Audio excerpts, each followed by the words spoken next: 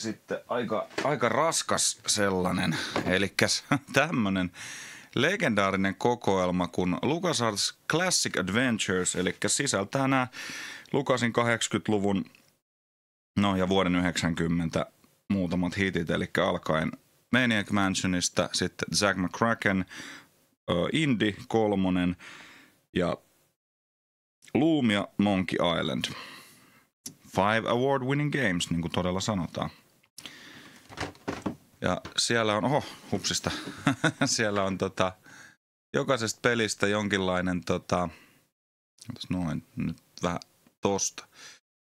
Jokaisesta pelistä on vähän jotain pientä tota, kuvausta. Tota, saisiko siitä jotain vähän tarkempaa.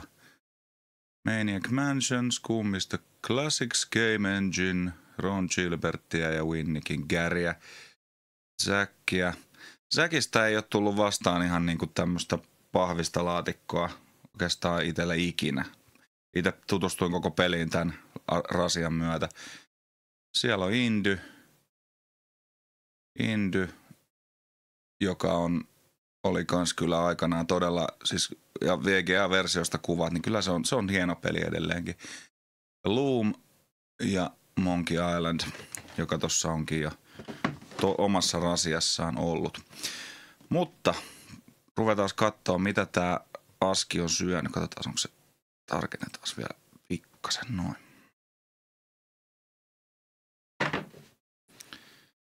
Noin, okei, aloitetaan sitten. Täällä on diskettejä. Ootas nyt. Yksi, kaksi, kolme, neljä, seitsemän diskettiä. Kaikki on tallella. Toimivuudesta ei ole mitään kärryä, mutta muistan kyllä, kun aikanaan sain tämän nipun käpälääni, niin kyllä siinä kädet tärisi, tärisi kun näitä rupesi koneeseen tuikkaamaan. Tämän sain joskus tosiaan aikanaan uutena isukilta tämän laatikon ja se oli kyllä onnellinen päivä minun lapsuudessa. Terveisiä vaan papalle. Tässä olisi tämmönen, tämmönen jonkinlainen, uh, mikähän tää sitten lieneekään, jäsenyys tai se Prodigy Series. Eli nämä oli ilmeisesti tässä niinku suoramarkkinointia, että lähetetään tämmöisiä kupon niinku listoja himaan ja sieltä voi sitten – tilailla kaikenlaista. Nämä oli jossain vaiheessa ihan Amerikan maissa ihan suosittujakin. Mutta tämä on silleen, että tämä tästä nyt itselle ihan heti kättelyssä selviä, että mikä tämä on ja enpä ole tätä ikinä sen kummemmin selaillutkaan. Sitten, no niin, tässä saa tilaus lappurainen, että saisi tuon The Adventure-lehden kotia ihan ilmaiseksi lähettämällä tämän kupongin. Siellä on rakas, jäsen, rakas asiakas. Kiitos kun nostit yhden peleistämme ja siellä on tota niin, no kyllä ne aika paljon kaikenlaista tietoa. Viisi lempipeliä niin ikinä. En ole täyttänyt näitä. No. Ja sitten on tämä melko tuhti manuaali. Siinä on Lukasin siihen asti tehneet pelit, eli vuoteen 92 saakka. Vetävät läntikset. Joo, tämä on siis tullut niin kuin, mä oon varmastikin 92 vuonna tämän kyseisen, koska tämä oli just ihan uusi. Täältä myytiin jossain postimyynnissä muistaakseni. Pelit-lehden kautta varmaankin. Manuaali, siellä on vähän liimaukset alkanut pettää ja tätä on nimittäin selattu, koska täältähän siis löytyy läpipeluohjeet näihin eri peleihin – on Monkey Islandin manuaali on tuttu.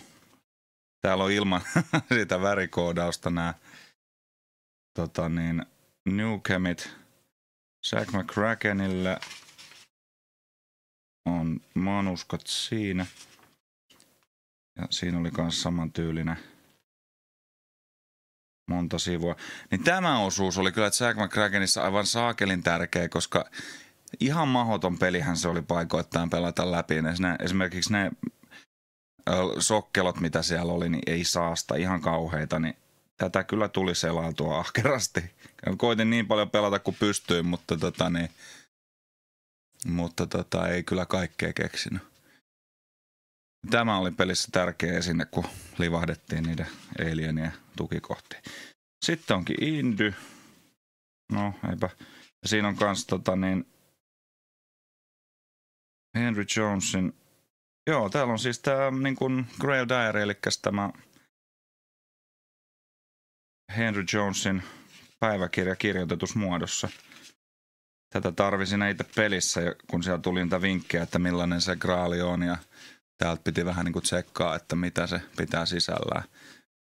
Sitten on tälleen niin kuin minä muodossa kirjoitettu läpipeluohje. Joku pelisuunnittelijat alkoi, niin kuin aloitti uransa kirjoittamalla näitä ja sitten siirtyi siitä pelisuunnittelijaksi. Sierralla esimerkiksi ainakin toi Shan, Lorelei Shannon muistaakseni. Sitten on Luumi. Tämä oli kyllä upea tämä Luumin tämä käyttöliittymä. Siinä oppi vähän nuoteista.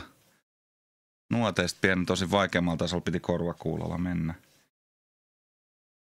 Ai ai, voi hyvänen aika. Täällä on meikäläinen omin pikkukäpälin kirjoitellut sointuja ylös pelin edetessä. Ei ole mennyt ihan, ihan putkeen kaikki täällä. Aika muista. Jälleen läpipeluohje. Tosin Loom taisi olla semmonen, että siinä ei paljon tarvinnut tähän turvautua. Ja sitten viimeisenä on Monkey Islandi. Monkey Islandin läpipeluohjeet. Ihan kohteliasta laittaa nämä tähän mukaan, koska kyllä ne tiesi siinä vaiheessa, että ei näin, jengi jaksa näitä välätä läpi, jos ei ole vinkkejä. On täällä toki tämmönen hintlinekin, mutta tää oli muistaakseni Monkey Island kakkosesta tää kuu. Mut joo, ja muihinkin peleihin löytyi sitten tommosia tukilinjoja ennen internettiä. Aivan mahtava muistojen laatikko. Sieltä löytyi kyllä niin kuin, uskon, että tää, nämä pelit on kolisee monelle, jotka on aikanaan pelejä pelannut. Jos mulla olisi vielä disketti ja sanon voisi sitä tsekkaa, että toimiiko nämä kiekot, mutta siis kiekot siksi, koska tuolla sisällähän on sellainen CD-näköinen muovikiekko. Mutta en minä nyt tohdi, en minä tohdi. Antaa se jäädä sinne muistojen rasiaan. Upea rasia ja varmaan monelta katsojaltakin tai ainakin joiltain löytyy tää hyllystä ja paljon lämpimiä muistoja tähän liittyen.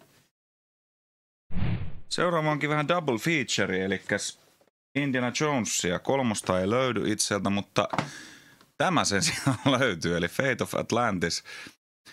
Ja tämä on nyt nimenomaan siis äh, tämä meemi, että mutta äiti, haluaisin hampurilaisen, Mäkkärin hampurilaisen, ja äiti sanoi, että meillä on hampurilaisia kotona, niin tämä on nyt se hampurilaisia kotona, eli tämä on tämä Action Game-versio, no tarkentuisiko noin, Action Game-versio tästä Fate of Atlanticsesta, eli no niin, se on taas väärinpäin. Eli siinä on indyjä, natseja, monstereita, magiaa, niin kyllä sitä hyvin nopeasti sit näkee, kun Rasian saa käpälä, että hetkinen, ei se peli tältä näyttänyt, ollaan Monte Carlossa. Tämä oli siis mun mielestä, tämä julkaistiin jopa Commodore 64, että tämä oli sen verran alkeelliseksi tehty peli – ja ihan kauheahan tämä oli. Siis sanotaan, että ehkä pelinä olisi voinut olla ihan okkin, jos tämä olisi julkaistu viisi vuotta aikaisemmin. Ihan, ihan saasta. Katsotaan mitä se on syönyt. Tää on kans meikäläisen vanha. No tää onkin näköjään. Tää on tällainen läystäke. The Action Game. Vuosi on 1938 ja tässä on siis niinku suurin piirtein sama tarina kuin tuossa Fate of Atlantis-pelissä, mutta tota, en, tätä en kyllä pelannut ikinä läpi. Mä niin, niin armottomasti rasitti, kun olin katsonut, lukenut Pelitlehdestä arvostelut, niin ei se tältä näyttänyt siinä Pelitlehdessä. Tämä oli sellaista niin mielipuolisen puuduttavaa turpiinvetoa, että mentiin ympäri kasinoa hakattiin jengiä, jotain suklaanpaloja etittiin, niin kuin, että ei saakeli. Ja sitten tämmöisellä ihmeellisellä koodikiel. Ei, ei, ei, väk, väk, väk. Mutta olkoon tämäkin nyt tämmöinen kuriositeetti ajan kätköissä ja siinä sitten kahdella disketillä tämä peli oli. Joo, aivan täydellistä ajanhukkaa oli tämä. No niin, meniks ne? No ne meni just väärinpäin. Ajalta täydellistä ajanhukkaa, mutta sen sijaan tämä pääruokalaji, eli tämä todellinen aito ja alkuperäinen Indiana Jones, niin tämä sen sijaan oli the shit, eli tämä taitaa olla vielä, no olen mä kyllä taitavasti nämä paketoinut. Tämä taitaa olla peräti meikäläisen alkuperäinen oma kappale.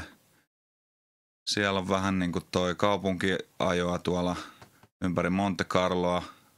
Tämä jo osuus on parempi kuin se seikkailu tai se toimintapeliversio. Ja sitten ollaan Atlantiksessa ja Saharassa vedettiin Witch-polulla muistaakseni tota, tätä kuumailmapalloajelua. Natsisukellusvene on siellä Atlantiksen etsinnässä. Joo, kyllä. Tämä, tämä, on, tämä on kyllä yksi parhaita seikkailupelejä ylipäätänsä. Mä ehkä jopa, en mä tiedä onko tämä paras, mutta niin jos se, joku seikkailupelaus kiinnostaa, niin tämän parempaa aloituspistettä on vaikea kuvitella.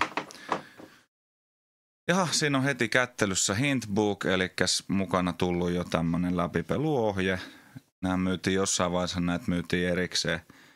Sitten täällä on näitä kaikenlaisia hassutteluita joissain kohdissa, jossa niin kuin, että ne oli lisätty juttuja, mitä ei itse pelissä ollutkaan, mutta hauskasti tämä oli tämä, että niin kuin, siinä ei suoraan kerrota sitä vastausta, vaan että jos, ei, jos haluaa vaan vähän niin kuin vinkkiä, niin voi lukea noin yksi kerrallaan, että vasta sitten lopussa se kerrotaan, että mitä todellakin pitää tehdä, että pääsee eteenpäin. Ja paksu läpyskä, koska tässä tosiaan on niin kuin, no siinä on kuvailtu, että miten tämä reissu, reissu, reissu kulkee niin kuin eri, esimerkiksi tuolla Witch-polulla, missä on vähän vaikeampia putslet. Sitten on jälleen kerran yritetty tehdä vaikeaksi tämä, tämä, tämä kopiointi, eli tämä on ensinnäkin näin tumma, että kopiokoneet, tuossa on niin kuin nuo kohokirjaimet on tuollainen valoherkkiä, mutta kopioidessa ei niin hyvin onnistu ja noita on ihan hirvittävä määrä. Siinä on kaikki akkoset ja numerot ja moneen kertaan ja rasioita, tai noita luukkuja on paljon, että kyllähän siinäkin taas joutuu vaivaa näkemään, jos piratoida halusi. Ja moni näki toki. Ja siinä on manuska, jossa on jotain, kans jotain kopiosuojausjuttuja tuolla ylhäällä muistaakseni noin. Et kyllä se oli moneen paikkaan soviteltu. Ja kyllä tämä oli tosi hyvän näköinen peli kaiken kaikkiaan. Siis tämä on kyllä suorastaan yksi parhaita, että se on niinku sitä huumoria ihan niin paljon kuin monessa muussa, mutta ei sitä suinkaan unohdettu tässäkään. Ja IQ-pointsit. Joo, kyllä. Tämä on aivan mahtava. Aivan mahtava. Siellä on vähän niin kuin lähdekirjallisuuttakin näyttäisi oleva. Näistä voi aloittaa ihan oikeita kirjoja. Atlantikseen liittyen. Ja siellä on Hal Barwood ja Noah Falstein. Hal Barwood oli Hollywood-mies, joka oli Lukasin kavereita ollut aikana 70-luvun puolella vielä. Lähti vähän omille teilleen, mutta ei oikein menestynyt sitten Hollywoodissa, mutta kuitenkin siellä vaikutti sen verran, että hänen nimi painettiin tuohon kanteen ihan erikseen. Aivan mahtava peli ja seikkailupelinä nimenomaan ei siinä toimintaversiossa. Se oli ihan kamala. Tämä on loistava. Seuraavana onkin vuorossa, jos mahdollista, niin vielä huonompi Indiana Jones-peli kuin se Adventure Game, eli Indiana Jones Desktop Adventures, joka on vähän enemmän sellainen ohjelmalelu kuin peli oikeastaan, eli kirjaimellisesti miljardeja mahdollisia pelejä tässä kuvaillaan. Niin, no teknisesti kai näin ehkä onkin. Windows 5 julkaistu, olisiko tässä julkaisuvuotta? 96 mm, näyttäisi olevan tuolla alan nurkassa, joo. Peli näyttää tässä kuvissa niin kuin tosiaan tämmöiset niin kuin ylhäältä päin kuvatulta kevyet seikkailulta. Eli tämä oli vähän tämmöinen niin kuin roguelike tyylinen, että se teki nämä seikkailut niin kuin vähän niin NetHack-kumppanit tyyliin. Niin tämä oli kyllä... Mä, mä en muista, kokeilinko mä tätä kyseistä, tätä Desktop Adventuresia. Tämä ei ole siis mun mielestä ainakaan mun oma kappale ollut, mutta tämä oli ihan hirveän huono yhden pelin oli pelannut, niin oli pelannut kyllä kaikki. Eikä se yksikään kovin ihmeellinen ollut. Tai sanotaan, että niistä miljardeista siellä saattoi olla yksi tai kaksi hyvää joukossa. Jos oot eri mieltä, niin laita ihmeessä kommentteihin. Tästä, no niin, just, kyllä, kyllä. Muove, muoveissa on, että pysyy tämä klassikko kondiksessa. Manuaali löytyy. No se on, se on kokonaista yhden, yhden aukeaman kokoinen. Any questions? Why did you make this game? Se on, that's my question. Ja on takuut. Ja vuonna 96 julkaistu peli mahtuu yhdelle disketille, niin kyllä mä väitän, että se peli olisi voinut jäädä tekemättäkin. Joo, laitetaan ne takas tonne muoveihin ja to, leikitään, että tätä ei ole ikinä tehty tätä peliä. Myös tämmönen Star Wars-versio tästä oli muistaakseni joku Yoda Adventures tai joku tällainen, mutta ihan samaa saastaa se oli kuin tämäkin. Ei, ei, ei jatkoa.